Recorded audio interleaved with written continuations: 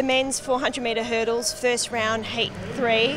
Um, Kerron Clement from the United States, you've qualified through to the semis. How was your run out there today?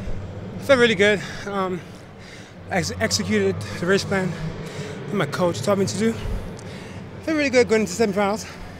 I'm ready. You've won this World Championships twice. You're looking for the trifecta? That is a plan. Definitely. I feel ready and I'm ready to go.